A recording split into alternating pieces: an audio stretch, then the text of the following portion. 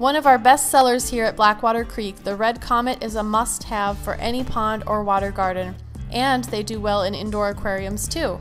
They're very elegant looking with their slim bodies and elongated trailing fins, making them absolutely beautiful in any pond or aquarium.